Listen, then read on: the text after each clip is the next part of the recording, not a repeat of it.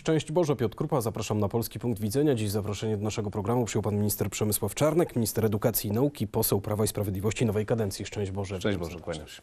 Panie ministrze, Prawo i Sprawiedliwość nie będzie miało wicemarszałków w Sejmie e, i Senacie. E, e, Wczorajsze głosowanie pokazało, że nie udało się uzyskać poparcia dla waszych kandydatów. I teraz pytanie o decyzję kierownictwa. Czy w ogóle zrezygnujecie z tej możliwości e, posiadania swojego wicemarszałka, ale nie pani marszałek Elżbiety Witek? A pan redaktor wie, którego wicemarszałka naszego ewentualnie ta sklejona z kilkunastu partii y, y, koalicja jest w stanie wybrać? To są standardy demokratyczne, żeby dać miejsce y, w prezydium Sejmu y, największemu klubowi w parlamencie i wskazywać mu, kogo ma do tego prezydium Sejmu stawić, że to nie są standardy demokratyczne. Cztery lata temu, kiedy obejmowałem po raz pierwszy y, mandat poselski, wybieraliśmy prezydium Sejmu. Miałem wielki niesmak, kiedy głosowaliśmy również za mm, tym, aby pan marszałek Czarzasty był wicemarszałkiem, prawda? No ale zrobiliśmy to, dlatego że my wychodziliśmy z założenia, że po pierwsze, mimo że mamy bezwzględną większość i mogliśmy przegłosować tak, że nikomu nie dalibyśmy mm, stanowiska wicemarszałka, to doprowadziliśmy do równowagi w prezydium. Było, była połowa wicemarszałków, znaczy składu prezydium, marszałek i dwóch wicemarszałków z naszej koalicyjnej Zjednoczonej Prawicy i druga połowa z partii opozycyjnych. Nie wskazywaliśmy partiom opozycyjnym, y, kto ma być ich przedstawicielem. Czy to ma być pan Zgorzelski, czy nie Zgorzelski? Czy to ma być pan Czarzasty, czy nie Czarzasty? Czy to ma być pani Kidawa-Błońska, czy nie Kidawa-Błońska? Bo tak wyglądają standardy demokratyczne. Tymczasem oni doprowadzili do sytuacji, w której y, ugrupowanie, na które oddało głos 7 milionów 660 tysięcy y, wyborców, a to jest najlepszy wynik, drugi najlepszy wynik w historii jakiegokolwiek ugrupowania. Bo pierwszy najlepszy wynik był 4 lata temu, kiedy na nas głosowało ponad 8 milionów, ale 7 milionów 660 tysięcy też jeszcze nikt nie osiągnął, tylko Prawo i Sprawiedliwość. I to ugrupowanie, poparte przez 7 milionów 660 tysięcy, ma teraz być na łasce i niełasce wszystkich innych, których y, poparła dużo mniejsza y, ilość społeczeństwa. Mówię o poszczególnych komitetach. Oni będą nam wskazywać naszego kandydata, więc my na znak protestu absolutnie nie zgłaszamy naszego kolejnego kandydata. Y, Pani marszałek Witek została obrażona wczoraj przez, y, nie tylko przez pana Brauna, ale przez y, wielu innych mówców. My się z tym nie zgadzamy, to nie są standardy demokratyczne. Jaki scenariusz nas czeka w tym nowym mm, Sejmie, nowym parlamencie? Dzisiaj też były mm, głosowania dotyczące składu KRS i żaden z kandydatów Prawa i Sprawiedliwości nie uzyskał e, poparcia. No tak, to, tak, ta większość, która się ukształtowała z tych kilkunastu partii, z y, czterech komitetów, y, z trzech komitetów wyborczych, ona pokazuje dzisiaj, że y, tak wygląda większość sejmowa i tak będą wyglądać głosowania. Y, To na pewno będzie bardzo trudna kadencja dla Polski, jestem o tym przekonany, ale też jestem przekonany, że, że w tym Sejmie, kiedy już dojdzie do sytuacji, w której za chwilkę dojdzie, to znaczy mamy szaleństwo Unii Europejskiej, która chce po prostu zlikwidować państwa niepodległe i suwerenne na terenie Unii Europejskiej, wtedy będziemy się odwoływać jednak do tradycji suwerennościowych, niepodległościowych, chrześcijańskich większości posłów, bo większość posłów to są jednak ludzie o tradycji chrześcijańskiej, suwerennościowej, niepodległościowej, nawet jeśli dzisiaj y, są po stronie tych, którzy takich tradycji nie mają. A nie macie Państwo sobie nic do zarzucenia? Dzisiaj poseł Gawłowski z Lewicy mówił do Was, że siedzicie w opozycji i tak będziemy Was traktowali, jak Wy nas traktowaliście. Koniec cytatu. Powtarzam raz jeszcze, traktowaliśmy opozycję jak opozycję, mimo że mieliśmy 235 głosów i mogliśmy doprowadzić do sytuacji, w której nie ma ani jednego przewodniczącego komisji sejmowej z tamtej strony, że nie ma ani jednego wicemarszałka z tamtej strony, to my zrobiliśmy prezydium Sejmu pół na pół, po to, żeby rzeczywiście były standardy demokratyczne. Tym się różnimy od naszych y, y, przeciwników, tym się różnimy od tych, którzy dzisiaj akurat tych standardów nie stosują. W przyszłym tygodniu czeka nas kontynuacja posiedzenia Sejmu. Będą wybierani właśnie szefowie komisji, składy komisji sejmowych. Jakiego scenariusza Pan się spodziewa? Spodziewam się scenariusza takiego jak z dnia wczorajszego, to znaczy y, Prawo i Sprawiedliwość nie tylko nie będzie miało przewodniczących komisji sejmowych, mimo że jest największym ugrupowaniem w Sejmie, y, być może dostanie y, kilka stanowisk takich zdecydowanie niższych, to znaczy tych komisji, które nie mają takiego znaczenia, ale to tylko być może twierdzę, że w ogóle nie dostaniemy tych przewodniczących, natomiast obym się zaskoczył negatywnie, pozytywnie. Natomiast Natomiast twierdzę również, że będą z kolei dyktować nam, kto do jakiej komisji ma wchodzić. E, Nie wiem, czy na przykład zechcą mnie wybrać do Komisji Edukacji, Nauki e, i Młodzieży, albo czy zechcą wybrać pana ministra Błaszczaka do Komisji Obrony Narodowej, albo czy zechcą wybrać pana mm, e, Adamczyka, ministra Adamczyka do Komisji Infrastruktury. Pokazują to, że oni chcą rządzić naszymi wyborami. Nic to nie ma wspólnego z demokracją. Czy pan się już godzi z tym, że z ministerstwem trzeba będzie się pożegnać? Czy nie liczy Jestem- pan jeszcze na uzyskanie tej mitycznej większości w polskim parlamencie, żeby rząd Mateusza Morawieckiego, który otrzymał od pana prezydenta tą misję tworzenia rządu, powstał? Misję tworzenia rządu dostał pan premier Mateusz Morawiecki, nie cały rząd. Yy, I wcale nie jestem przekonany, że pan premier Mateusz Morawiecki spo- yy, wybierze mnie na funkcję ministra edukacji i nauki. Może równie dobrze wybrać inne osoby. To już będą decyzje pana premiera Mateusza Morawieckiego, więc to jest pierwsza rzecz, której wcale nie jestem pewien. Yy, Natomiast yy, yy, jaka będzie konstrukcja tego rządu? Natomiast jestem przekonany po tych już dwóch dniach, że jakikolwiek rząd by nie powstał w- misji pana premiera Mateusza Morawieckiego, będzie miał niezwykłą trudność uzyskać wotum zaufania i w związku z tym gdzieś tam koło grudnia będziemy mieli rząd z, z premierem Tuskiem e, na czele, a jak e, rządzi rząd z premierem Tuskiem na czele, to wszyscy państwo pamiętacie. Nie pamiętają tego młodzi ludzie, ale e, ci, którzy są e, już od dawna dorośli, nazwę to w ten sposób, dokładnie pamiętają czasy 27215. To czyli lekcje hitu nie przypominały y, uczniom, ale którzy jeszcze oczywiście nie mają prawa No do właśnie, głosowania. odpowiedział pan redaktor sam na swoje uszczypliwe pytanie. E, Otóż po pierwsze lekcje hitu są dopiero od e, roku, to jest drugi rok, kiedy, mm, kiedy uczniowie uczą się historii najnowszej. Ci, którzy się uczą w drugiej klasie nie doszli jeszcze do okresu 27215, bo to jest na koniec tego, tego cyklu. No a poza tym to są osoby, które mają lat e, 16 i 17. Co z tymi Oni nie głosują. panie ministrze? Osiem lat rządziliście, czyli za późno ten przedmiot wprowadziliście? Tak, jestem przekonany o tym, że tego typu zmiany mogły nastąpić wcześniej, zdecydowanie. Yy, To był mój punkt programowy. Ja z tym poszedłem do pana premiera Mateusza Morawieckiego i do pana prezesa Jarosława Kaczyńskiego, pokazując, że potrzeba nam zmiany nauczania historii i uczenia historii najnowszej, której nie znają e, młodzi ludzie i wprowadziliśmy to właśnie w ten sposób, uzupełniając czy rozszerzając wiedzę o społeczeństwie o historię najnowszą. Myślę, że gdyby to nastąpiło kilka lat wcześniej, mielibyśmy już pokolenia Polaków, którzy by tę historię najnowszą znali i wiedzieliby, kto to są komuniści, kto to są postkomuniści, co to jest złodziejstwo na mm, majątku narodowym, kto tego złodziejstwa dokonywał, jak to wyglądało, co się działo choćby 10 kwietnia 2010 roku, co się działo przed tymi y, dramatycznymi wydarzeniami i kto jest za to odpowiedzialny przede wszystkim politycznie.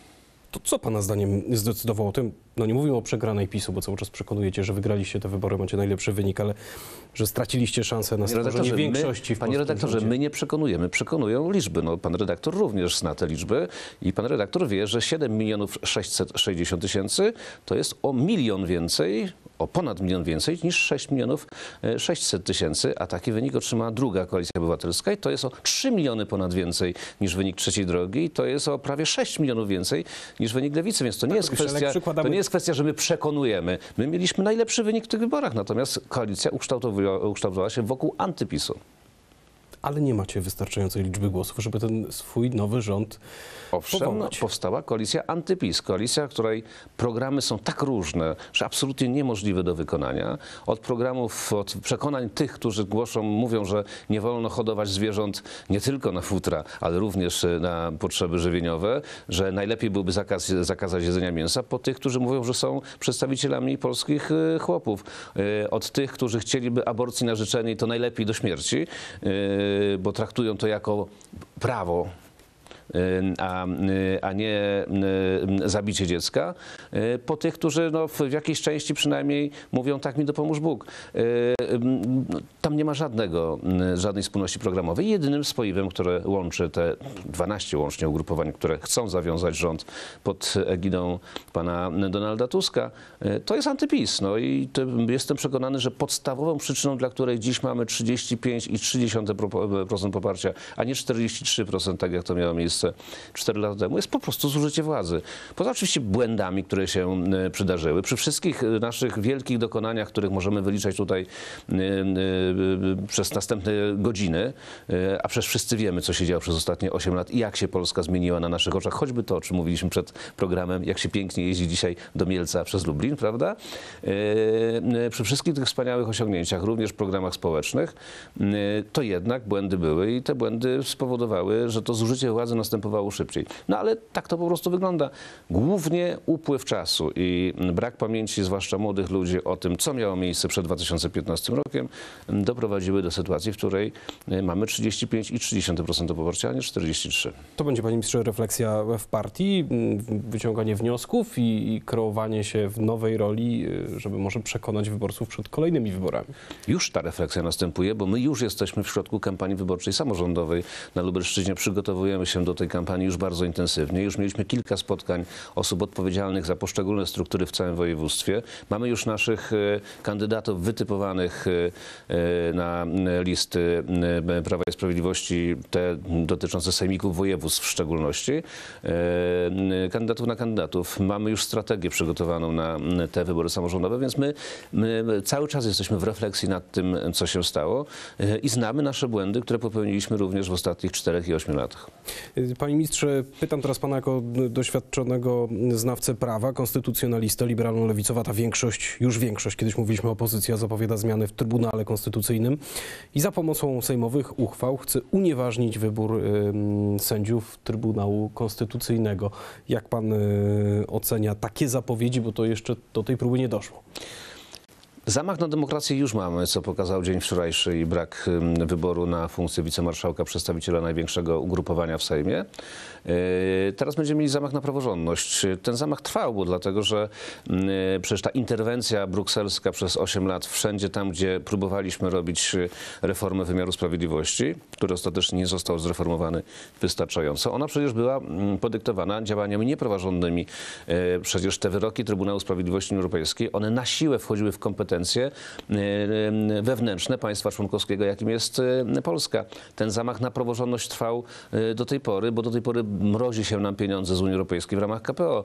A teraz będzie zamach już wewnętrzny, ustrojowy, bo jeżeli rzeczywiście doszłoby do sytuacji, w której większość dzisiejsza sejmowa podjęłaby uchwałę o unieważnieniu, nie wiem o czym to będzie uchwała, bo nie ma takiego trybu, nie ma takich podstaw prawnych. W każdym razie, która by doprowadziła do tego, że trzej sędziowie Trybunału, troje sędziów Trybunału Konstytucyjnego miałoby e, odejść z funkcji przed upływem kadencji, no to byłby zamach na Trybunał Konstytucyjny, zamach na praworządność bezwzględny. A jakby się to miało z kolei do wszystkich orzeczeń, które były wydane w ciągu ostatnich 8 lat, nie ma żadnego trybu unieważniania orzeczeń. Więcej, Konstytucja Rzeczypospolitej Polskiej y, w, w swoich przepisach jednoznacznie stanowi, jednoznacznie stanowi, że orzeczenia Trybunału Konstytucyjnego są ostateczne, nie podlegają żadnej weryfikacji ze strony Sejmu. Gdyby dzisiaj taką sztuczką, w cudzysłowie, y, chcieli um, doprowadzić do unieważnienia choćby orzeczenia Trybunału Konstytucyjnego z 22 października 20 roku o ochronie życia y, poczętego, no to, to byłoby coś...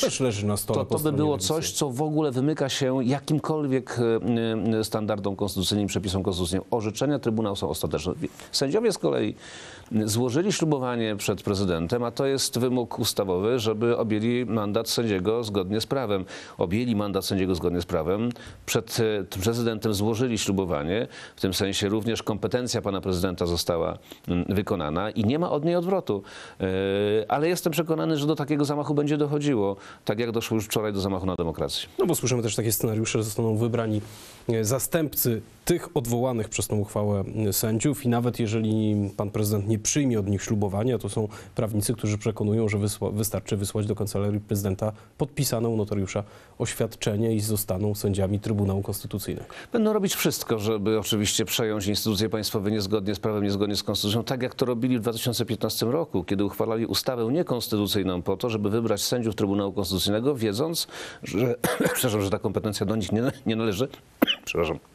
I należeć nie będzie, a to z tego powodu, że kończyli kadencję, byli przekonani o swojej porażce, co zresztą nastąpiło w październiku 2015 roku. Więc teraz będą to robić ze zdwojoną siłą. My będziemy musieli po prostu się temu przeciwstawiać. My w parlamencie, pokazując to państwu, na czym polega bezprawie ich działania. No, znamy czasy, kiedy wychodziliśmy na ulicę i na ulicach przecież przeciwstawialiśmy się bezprawiu, choćby w kontekście zamachu na telewizję Trwam. To może jednak te barierki przed Sejm wrócą Nie, dość my- szybko. Nie, bo my, panie redaktorze, w przeciwieństwie do nich, prezentujemy dużą kulturę, e, również tą e, marszową i zgromadzeniową i na naszych zgromadzeniach nie ma tego ro- rodzaju wyzwisk, agresji, hejtu, e, pijaństwa, jak na ich zgromadzeniach to miało miejsce choćby w czasie strajku kobiet, bo przecież e, od tego zaczęły się barierki. My na pewno, e, nawet jeśli będziemy zmuszeni do tego, żeby na ulicach e, i to w wielkich marszach, wielkich pochodach przeciwstawiać się bezprawiu od tamtej strony, na pewno e, nie stanowimy zagrożenia dla tych, którzy pracują w Sejmie. E, A przecież to zagrożenie Państwo widzieliście na swoje oczy, choćby w grudniu 16 roku, kiedy był ten Ciamajdan tak zwany, e, ale to było niezwykle groźne. Od tamtego czasu mamy barierki. Panie ministrze, chciałbym zapytać, Mieliśmy, bo wczoraj zdjęli. Jak będzie wyglądała polska szkoła, jeżeli dojdzie do zmiany władzy, Donald Tusk będzie premierem i być może lewica będzie odpowiedzialna za resort edukacji. No to prześledźmy, co oni chcą zrobić z polską szkołą. Chcą mm, mm, przede wszystkim, ażeby w polskiej szkole dyrektorzy samodzielnie podejmowali decyzje o tym, czego się uczą uczniowie. Czyli szkoła będzie absolutnie zdezorganizowana. Chcą, żeby uczniowie nie odrabiali prac domowych w ogóle. Czyli może przyjść na przykład na zajutrz uczeń powiedzieć, że nie będzie pisał klasówki, dlatego że nie przygotował się, bo w domu nie ma obowiązków się przygotowywać.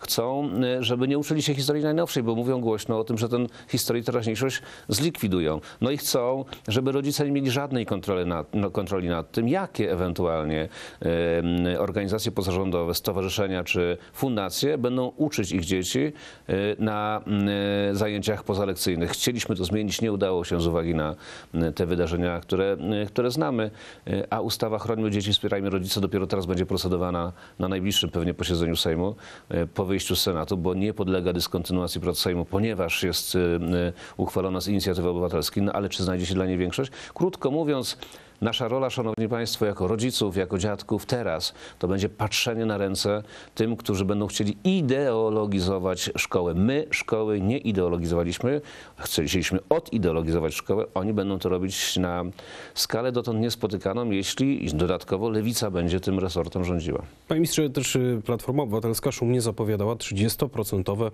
podwyżki, co najmniej 30% dla nauczycieli, ale jak s- czytamy tą umowę koalicyjną mm, tego przyszłego rządu, to czyta, to mamy jasno zapisane, że strony koalicji potwierdzają pilną potrzebę podwyżek dla nauczycieli, pracowników służby publicznej, w tym administracji, sądów i prokuratury, ale nic o procentach nie ma.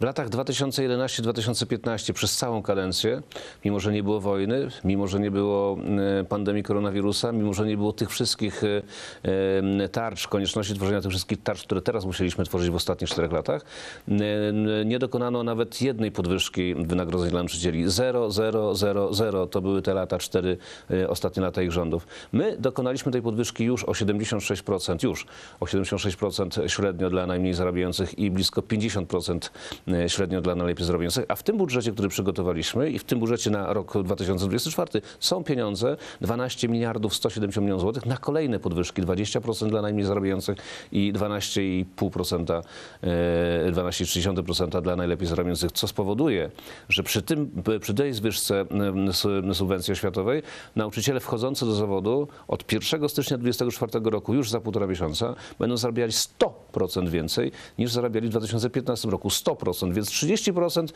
jest taka jałmużna z ich strony tak naprawdę. A nawet jeśli by to zrobili, czego życzę nauczycielom, to z tych 30% y, y, y, 12 miliardów 170 milionów już myśmy przygotowali. Oni musieliby do tego dołożyć 11 miliardów złotych. Czy je znajdą? Będą musieli komuś zabrać. Jak Państwo myślicie, komu? Emerytom?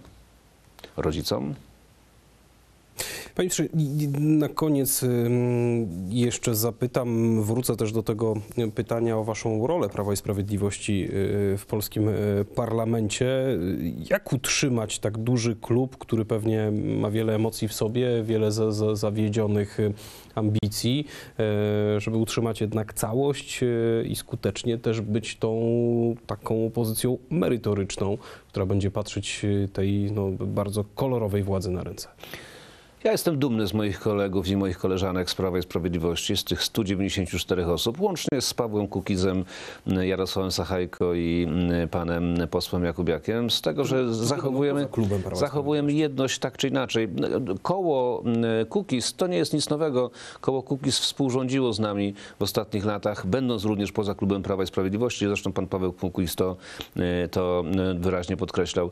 E, Ale tak czy inaczej są, jak powiedzieli, w bliskości z Prawem i Sprawiedliwością. Pozostali posłowie nie słychać, żeby pomimo różnego rodzaju oczywiście niepowodzeń, niezadowolenia z faktu, że e, prawdopodobnie tej większości my w tym parlamencie jednak w żaden sposób uzyskać nie będziemy mogli, e, to jednak wiedzą, że Prawo i Sprawiedliwość jest wartością ogromną, e, bo gdyby ono nie powstało, gdyby nie było prowadzone tak, jak było prowadzone, to 10 lat nie rządziłoby Polską, a zarówno lata 2005-2007, jak i 2015-2023 to są lata intensywnego rozwoju Polski, co Państwo widzicie i w swoich portfelach, i w swoich domach, i na swoich ulicach, i na swoich drogach, e, i wszędzie, gdzie się udajecie. Bardzo dziękuję za rozmowę. Pan minister Przemysław Czarnek, minister edukacji i nauki, poseł nowej kadencji Prawo i Sprawiedliwość. Dziękuję, kłaniam się Państwu, szczęść Boże. A Polski Punkt Widzenia jutro o stałej porze 21.40. Do zobaczenia z Panem Bokiem.